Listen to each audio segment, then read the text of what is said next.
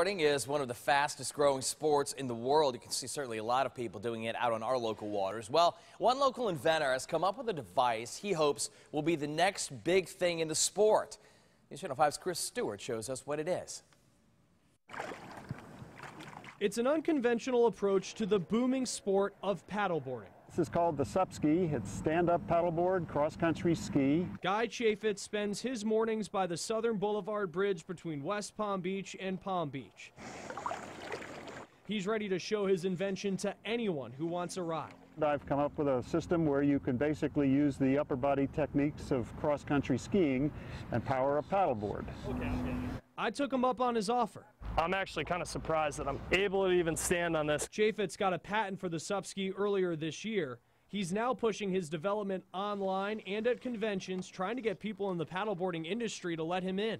The industry is absolutely exploding with the popularity of the sport. In fact, it's one of the fastest growing sports in the world.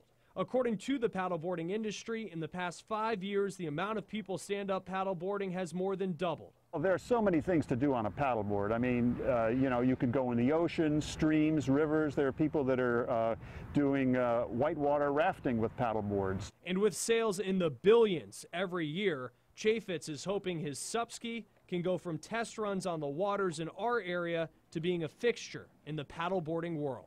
Chris Stewart, WPTV News Channel 5. Well, if you want more information on the SUP-ski, we have a link on our website, WPTV.com. Now, Storm Team.